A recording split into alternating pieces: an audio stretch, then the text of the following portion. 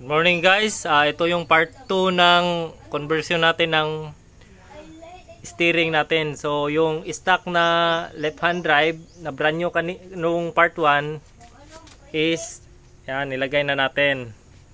Yan siya guys. Ngayon, ito yung luma. Ayan. Ayan. Yan yung luma guys. Yan yung pinutol. Ito.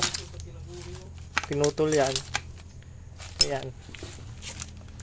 So medyo unsafe siya gawa ng nakakain yung buhangin, natatagtag yung thread. Kakalauna nasisira. So yan guys. Eto, nung nakaraan, convert na to eh. Ngayon, paglagay, paglagay ng brand new, medyo sakto naman. Kaya wala na tayong masyadong ginalaw dyan. Ang nagiging problema lang natin is ito. Yung cooling system niya. Ayan. Medyo hindi masyadong ano siya eh, tuwid pero ang ginawa natin is binaga natin at saka medyo inano na lang natin ng konti iniwas natin dito sa power steering motor para ano siya posisyon na posisyon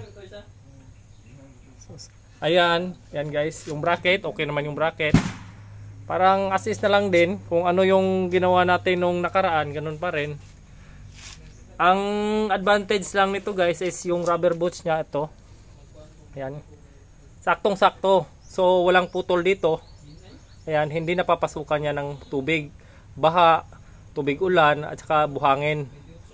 Tapos dito din yung rubber boots din sa kabila pasok na pasok ayan. Eto ganun pa rin. Medyo tagilid lang ng konti pero walang problema. Swabing swabe sa steering yan guys. Pag umaandar stuck na stuck. So malambot. Parang kama. Yun lang guys and thank you